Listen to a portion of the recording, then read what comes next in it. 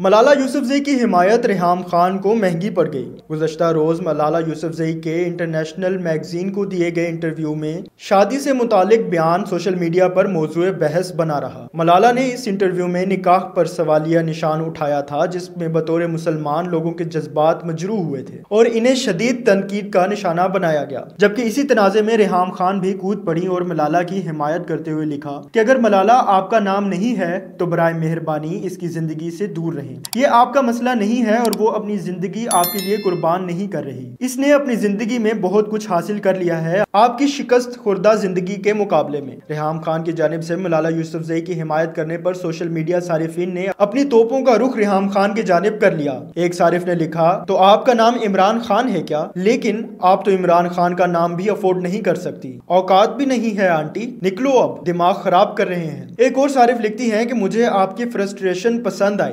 ज़ाहिर है कि आप इसका दिफा कर रही हैं, क्योंकि आप भी वैसी ही जहनीत की मालिक हैं जैसी मलाला की है। हम भूले नहीं हैं कि आपके बेटे ने ही किताब में आपकी ख्वाबगाह की कहानियाँ लिख रखी हैं। एक और सारिफ ने तनकीद करते हुए खरी खरी सुना दी कि किसको कह रही हो मोहतरमा? खुद तो आज तक खान साहब की बात किए बगैर ट्वीट नहीं करती और दूसरों को नसीहत फरमा रही हैं। जब आप लोग मुल्क को अपनी मर्ज़ी से चलाने के दावेदार बनते हो तो आप लोग भी आवाम की प्रॉपर्टी में शामिल हो जाते हो। तो जवाबदेह होना पड़ता है। आम आवाम बनो तो कोई ना पूछेगा।